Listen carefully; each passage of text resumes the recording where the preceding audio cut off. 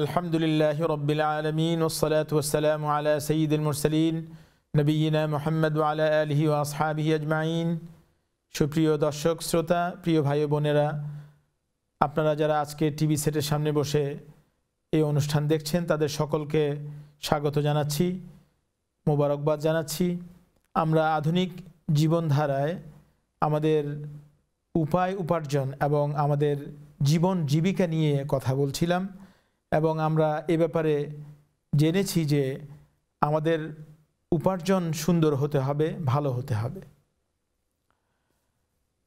এবং এই উপার্জনের জন্যে আমাদের নিজস্ব শ্রম দিয়ে আমরা যেই উপার্জনগুলো করি, সেটি হচ্ছে উত্তম। কারণ আল্লাহ রসুল বলেছেন যে, মা কাসাবার রজুলু কাসবান আতিয়াবা মিন আমালি ইয়াদিহি। যে একজন মানুষ তার নিজের হাত দিয়ে যেটা উপার্জন করে, এর চেয়ে উত্তম কোনো কিছু আর হতে পারে না। এখন এই উপার্জনের অনেক উপায় রয়েছে। এর মধ্যে একটি উপায় হচ্ছে ব্যবসা করা, বাণিজ্য করা হ্যাঁ বিজনেস আর এর বিপরীতে আরেকটি যেই মাধ্যমে বর্তমান সময়ে এবং অতীত থেকেই এটি রয়েছে যে মানুষ অর্থ উপার্জন করে, সুদের বিজনেস করে। এবং সুদি কারবার করে ইন্টারেস্ট বেইজ বিজনেস করে এবং সমস্ত কিছুর সাথে ইন্টারেস্টের যে একটা লিঙ্ক এবং সম্পর্ক রয়েছে, এ ধরনের লেনদেনের মাধ্যমে মানুষ কি করতে চায়? উপার্জন করতে চায়। এখন দেখুন, আজকে বর্তমান সময়ে, বর্তমান দুনিয়ায়, আজকে কিন্তু আমাদের অর্থনৈতিক অবস্থা এবং অর্থের সাথে জড়িত যত কিছু আছে সব কিছু কিন্তু ব্যাংক কেন্দ্রিক হয়ে গিয়েছে। এবং এই ব্যাংকগুলো কিন্তু সুদের মাধ্যমে পরিচালিত হচ্ছে। ব্যাংকে আমি ডিপোজিট রাখছি, ব্যাংক থেকে আমি লোন নিচ্ছি, আমার ব্যবসা প্রতিষ্ঠান পরিচালনা করার জন্য ব্যাংকের কাছ থেকে লোন নিতে হচ্ছে, আমি বাড়ি করব সেটার জন্যও করতে হচ্ছে, আমি কোনো কোনো কোনো ধরনের কমোডিটি আমি কিনবো সেটার জন্য ব্যাংকের কাছে আমাকে ধর্ণা দিতে হচ্ছে। এভাবে অনেক মাধ্যম যেগুলো সব সবগুলোই প্রায় ব্যাংকের সাথে রিলেটেড এখন কথা হচ্ছে, এই ব্যবসাকে আল্লাহ বৈধ করেছেন, হালাল করেছেন, কিন্তু সুদকে হারাম করেছেন। আল্লাহ রাবুল আলমিন বলছেন, ওয়া আহাল্লাহুল বাইয়া ওয়া হার্রামার রিবা। আল্লাহ ব্যবসাকে কি করেছেন? বৈধ করেছেন। আর আর রিবাকে কি করেছেন? সুদকে হারাম করেছেন। ইন্টারেস্টকে হারাম করেছেন। আরও আল্লাহ বলেন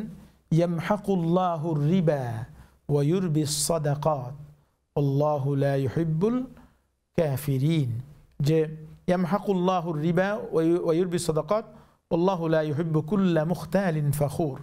যে, আল্লাহ কি করেন?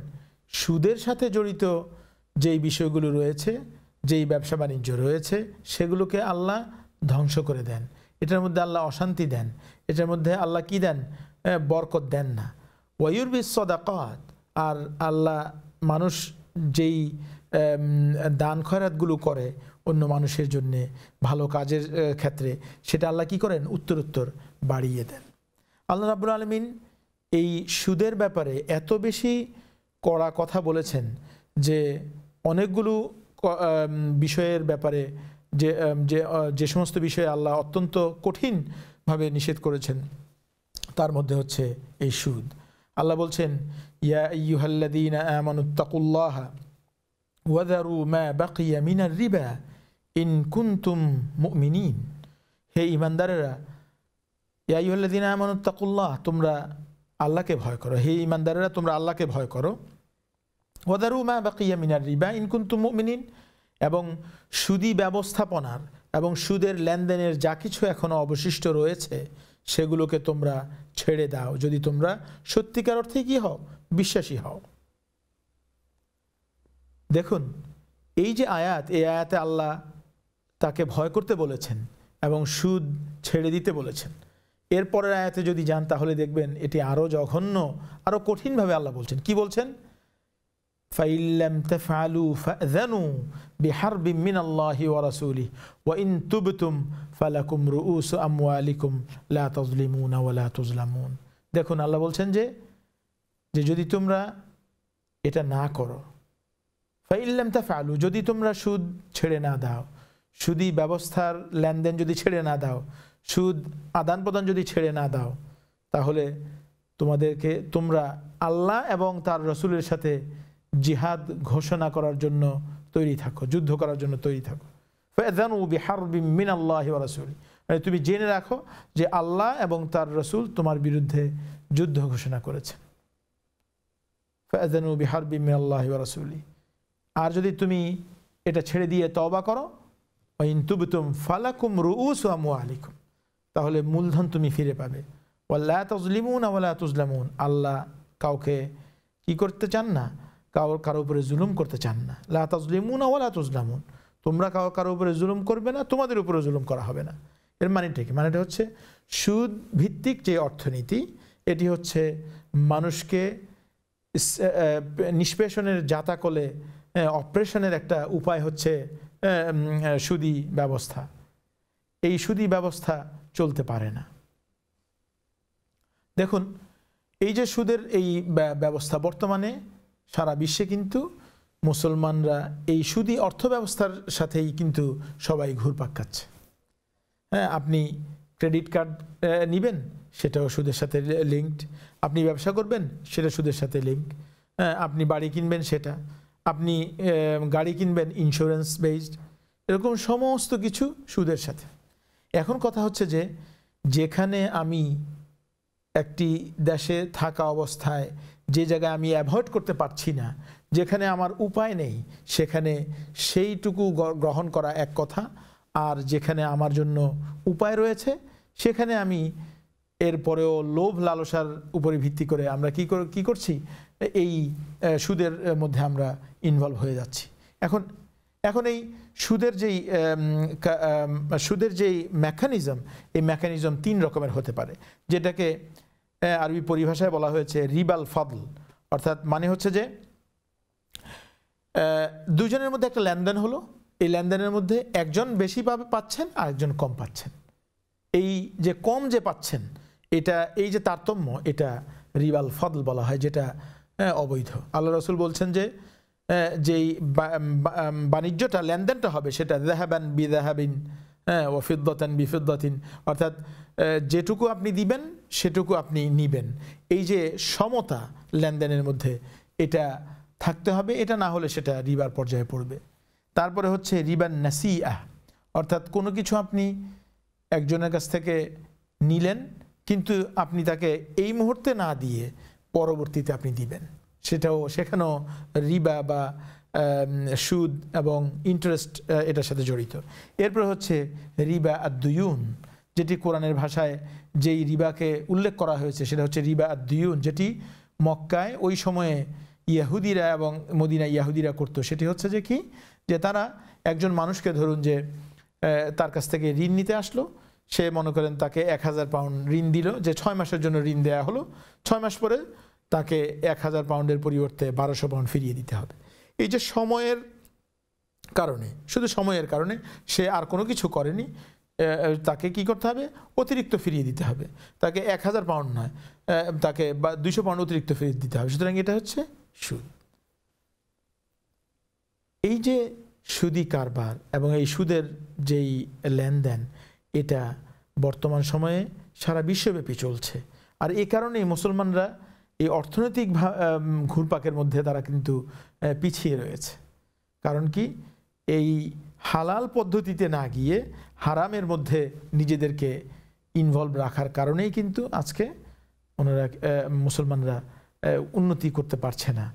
আর এই এক্ষেত্রে ভালো মুসলমান যারা যারা সত্যিকার অর্থে আল্লাহকে এবং, আল্লাহকে ভয় করে এবং তার রসুলকে ভালোবাসে, তারা অবশ্যই অবশ্যই উপার্জনের ক্ষেত্রে কোনো ধরনের বিন্দুমাত্র আপনার সুদ ইনভলভ আছে কি না এটা তারা অত্যন্ত গুরুত্বপূর্ণভাবে এবং অত্যন্ত সিরিয়াসলি তারা এটাকে দেখে। কারণ আল্লাহ এবং তার রসুলের যেখানে নিষেধ রয়েছে সেখানে তারা যাবে না।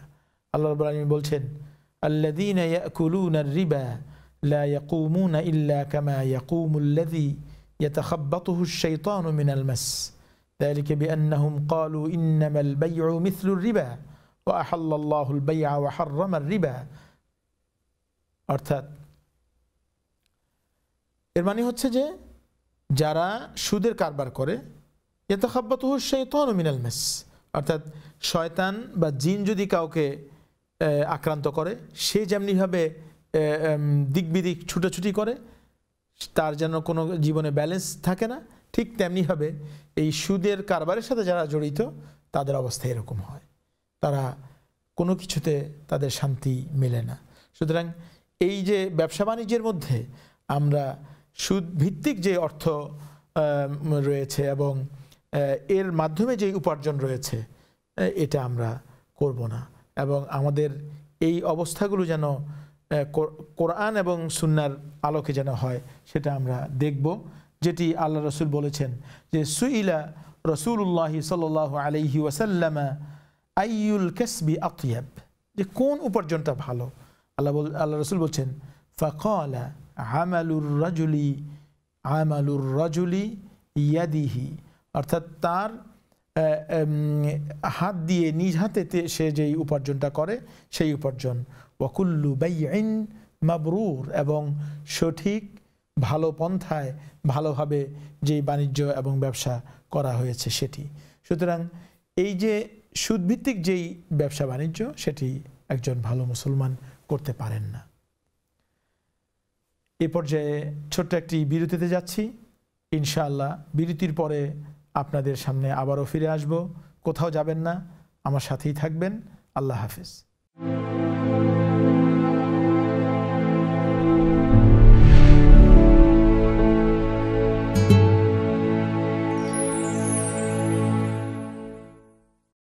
আসসালামু আলাইকুম রহমতুল্লাহি বারাকাত। প্রিয় ভাই বোনেরা, বিরতির পরে আবারও আপনাদের সামনে আমাদের জীবন আচরণ এবং জীবন জীবিকার সম্পর্কে আলোচনা নিয়ে আসলাম। আমরা সুদভিত্তিক অর্থনীতি এবং উপার্জন এটি সঠিক নয় এ ব্যাপারে কথা বলছিলাম।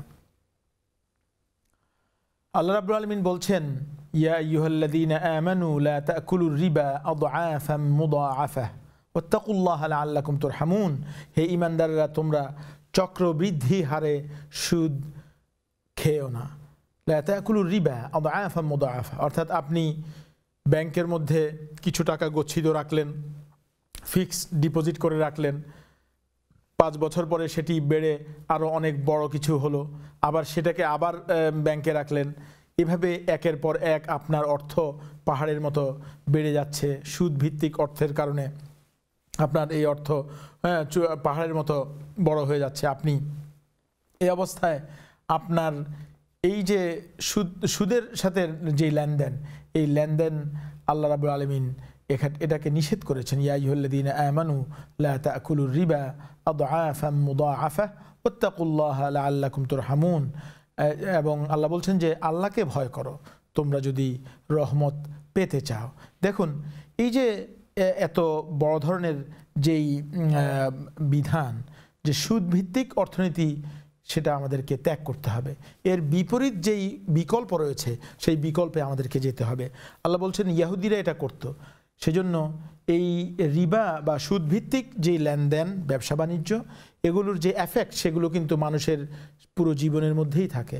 আল্লাহ বলছেন ফাবিদুল মিমিন আল্লাদিন হাদু হাররামনা আলাইহিম তয়্যিবাতিন উহিল্লাত লাহুম। যে যারা ইহুদি, তারা অনেক জুলুম করেছে এবং এই জুলুমের কারণে আল্লাহ রাবুল আলমিন কি করেছেন? তাদের জন্যে হালাল জিনিসকে হারাম করে দিয়েছেন। এবং ওবিসদ্দিহিম আন সাবিলিল্লাহি কাথিয়রা যেহেতু তারা আল্লাহর রাস্তায় অনেক প্রতিবন্ধকতা সৃষ্টি করেছিল, সেজন্য আল্লাহ তাদের জন্য হালাল জিনিসগুলোকে হারাম করে দিয়েছেন। ও আখদিহিমুর রিবা, আর কি? তারা যেহেতু সুদ নিত সুদের কারবার করত, সুদভিত্তিক বিনিয়োগ করত। সেজন্য আল্লাহ রাব আলমিন তাদের উপরে কি করেছেন? এ ধরনের শাস্তি দিয়েছেন। অকাদ নুহু আনহু, যে এই, যে তারা সুদ সুদ নিত, সুদ খাইত, কিন্তু আল্লাহ বলছেন যে তারা এই ব্যাপারে তাদেরকে নিষেধ করা হয়েছে।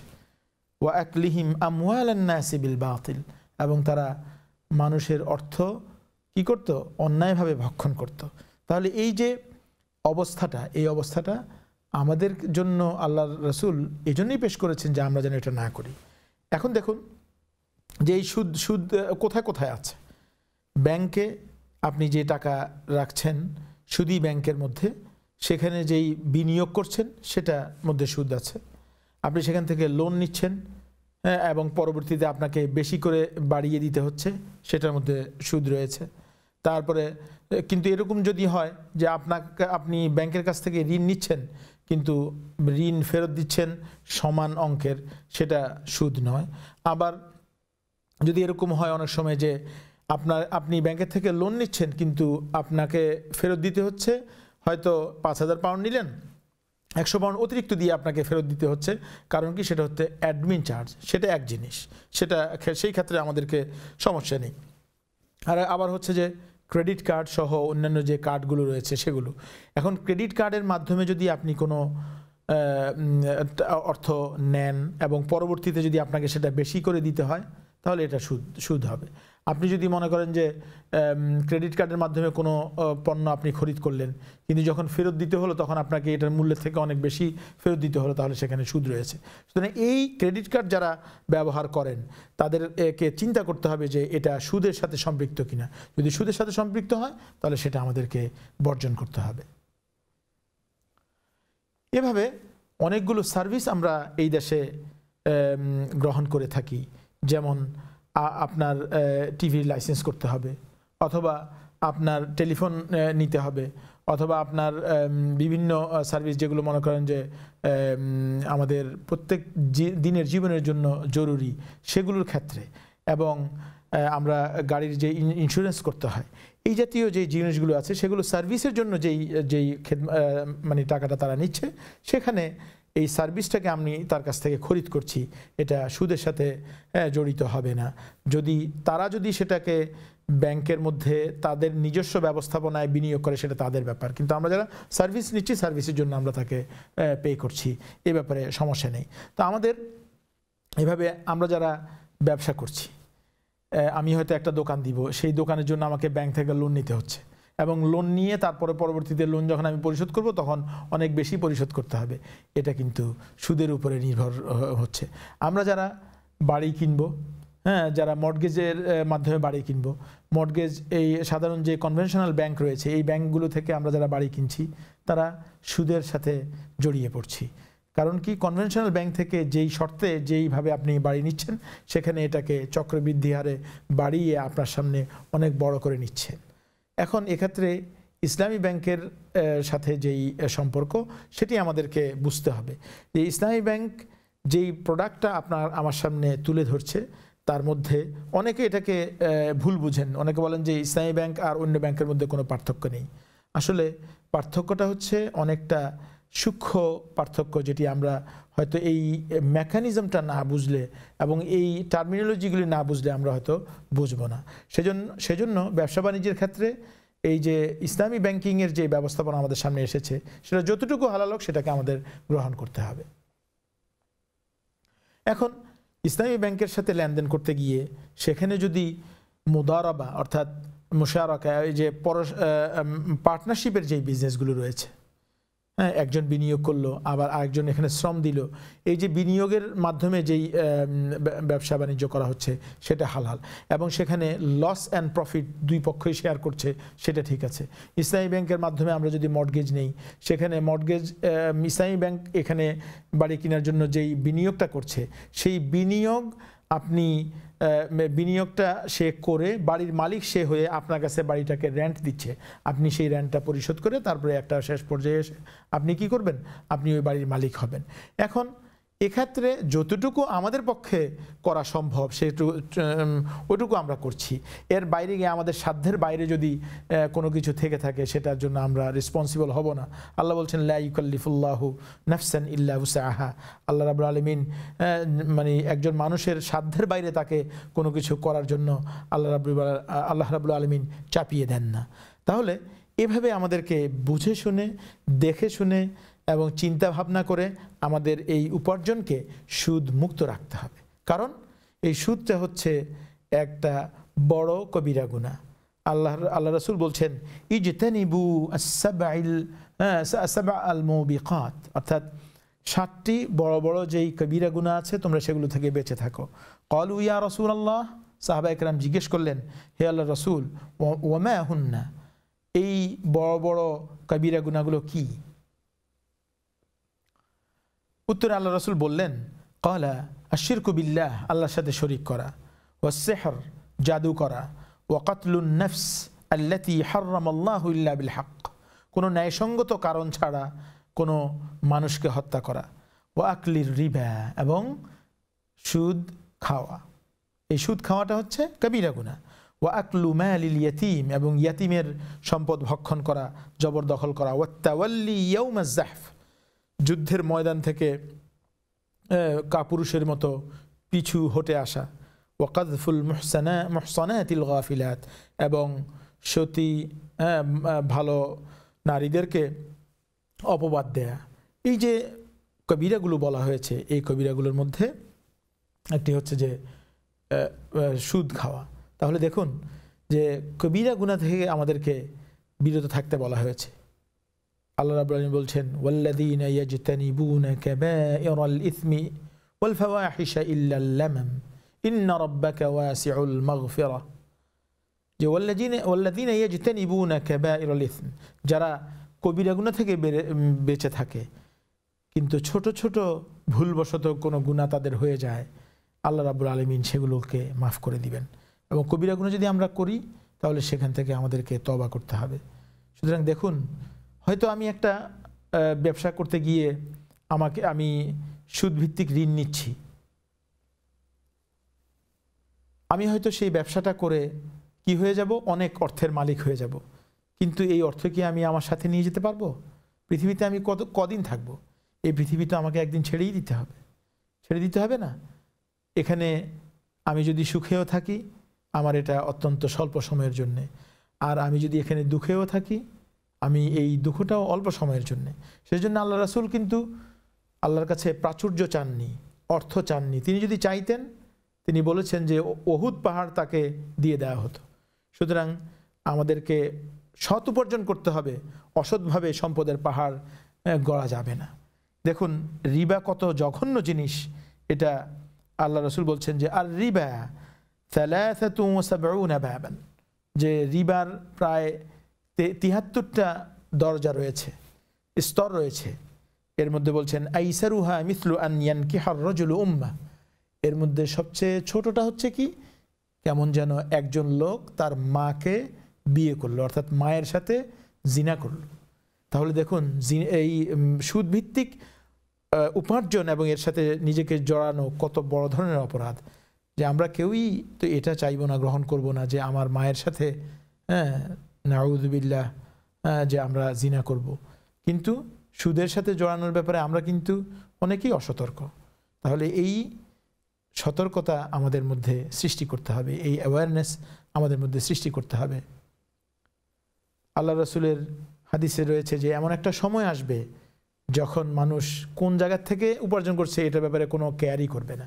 আসুন, আমরা প্রত্যেকেই আমাদের উপার্জন নিয়ে অত্যন্ত সুন্দরভাবে বিবেচনা করি এবং আমাদের উপার্জনের মধ্যে হারাম আছে কি না, সেটি আমরা জেনে নেই এবং হারাম থেকে, সুদ থেকে আমরা মুক্ত থাকি।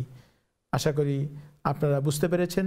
আল্লাহ রাবুল আলমিন আপনাদের সকলকে সুস্থ রাখুন, সুন্দর রাখুন, ভালো রাখুন। আগামী পর্বে আবার দেখা হবে। সে পর্যন্ত আল্লাহ হাফিজ।